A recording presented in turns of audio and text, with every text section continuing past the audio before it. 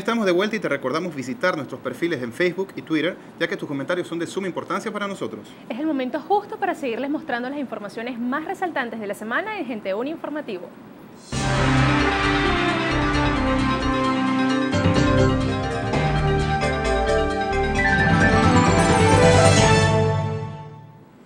Continuamos y de inmediato les mostraremos las notas con las informaciones más resaltantes de la semana. Nuestra compañera Glenn Urriola nos trae las imágenes y hechos del foro de cultura que se llevó a cabo en las instalaciones de nuestra alma mater. El Salón de Usos Múltiples fue el recinto para albergar al público asistente. Veamos. El licenciado Salvador Dalí, cronista de la parroquia Juan de Villegas, se hizo presente en el Salón de Usos Múltiples de nuestra Casa de Estudios para ofrecernos un foro de cultura súper interesante. Veamos los detalles. Los estudiantes de la Cátedra Formación Cultural, bajo la coordinación de Cultura adjunta al Decanato de Extensión de nuestra UNI, fueron los responsables de organizar un foro que nos invita a ser portavoces y protagonistas de la historia. Para mí como cronista, como historiador y docente, eh, tengo una gran responsabilidad de decirle a las generaciones futuras, a las generaciones que, se están formando, ya sea en la comunicación social, en la docencia, en la parte, en la parte como, como docente en, en el área de sociales o historia, que debemos seguir indagando y profundizando para eh, llevar una historia más objetiva, más certera y más veraz, porque no podemos vivir en desacierto.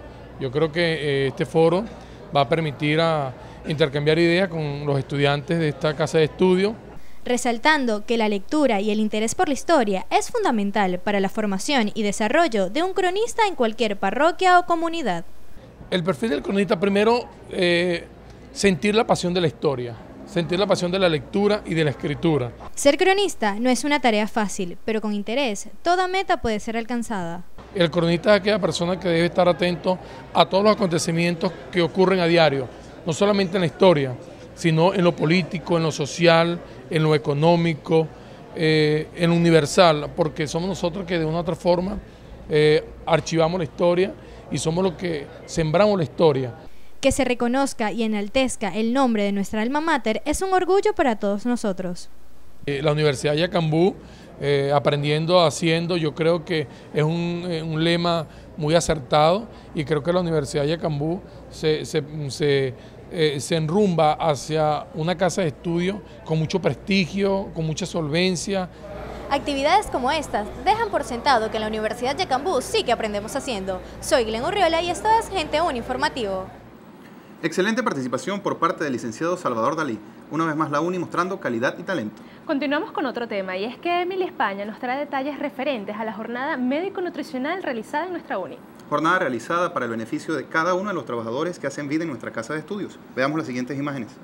La doctora Janet Barbosa, médico nutricionista, fue la vocera en esta jornada y nos explicó los factores de riesgo cardiovasculares y cómo la alimentación influye directamente en nuestra salud.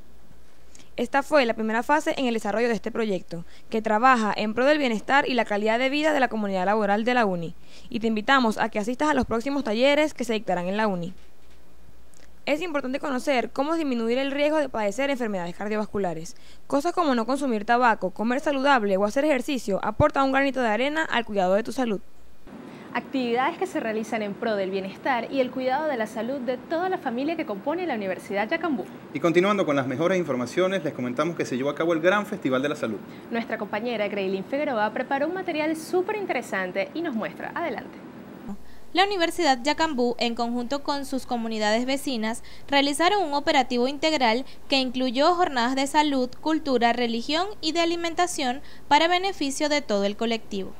Esta es una actividad que este, estamos haciendo desde el año pasado, donde las instituciones, de la mano con la comunidad, porque no es la mano de las instituciones, de la mano con la comunidad estamos trayendo el beneficio en colectivo, ya sea de operativos, por lo menos ahorita fue el operativo de salud, el año pasado fue de niños, una fiesta de niños integral cultural, Hoy ahorita un operativo integral donde se manifiesta la cultura, está la salud, eh, la Universidad de Yacambú, este, la iglesia, la escuela, el consultorio, los negocios, está el laboratorio este, y, los consejos comunales en primera instancia.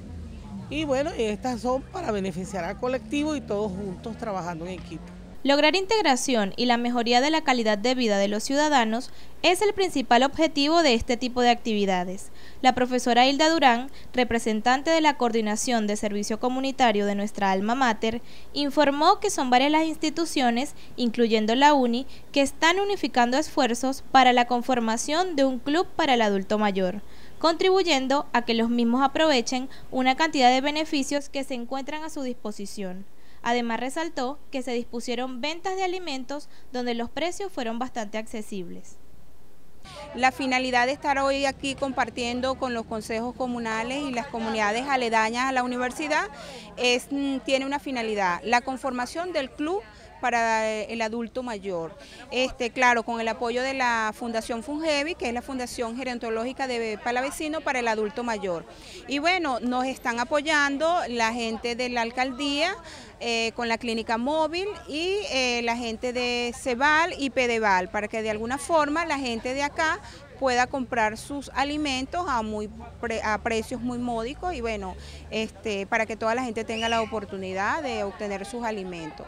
También contamos con este, otros consejos comunales como es la alfarería, la gente de la Esperanza, quienes también hoy desde muy, temprano han hecho actos de presencia para contribuir a esta noble labor que eh, tiene como finalidad rescatar y recuperar todos aquellos viejitos que estén en, alguna, en ciertas condiciones para que puedan aprovechar ese, algunos beneficios pues que ahora lo tienen, pero lamentablemente por no tener el registro no han perdido esos beneficios. Luisa Rodríguez, coordinadora de salud del consultorio Barrio Adentro, expresó palabras de satisfacción por la labor desempeñada y la colaboración recibida, dando a conocer también que se tiene establecido realizar estas jornadas quincenalmente para garantizarle a la comunidad un bienestar permanente en las cercanías de su dirección de habitación. Es por ello que la UNI constantemente fortalece vínculos y apoya de manera incondicional para optimizar las condiciones ciudadanas. Soy Grelin Figueroa y esto es Gente UNI Informativo.